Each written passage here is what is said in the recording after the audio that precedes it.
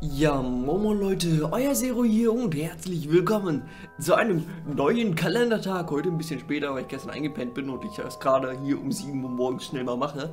Ähm, heute möchten wir gerne den zweiten oder das zweite Türchen öffnen. Das werden wir auch machen. Vorher zeige ich euch nochmal, wo gestern der Key versteckt war. Ich blende das jetzt hier mal kurz ein. Da habe ich den Key versteckt. Äh, mal gucken, wo ich den heute verstecken werde. Lasst euch überraschen. Und äh, weil ich auch gleich schon los muss, würde ich sagen, beeilen wir uns mit Türchen Nummer 2. Komm, ab dafür.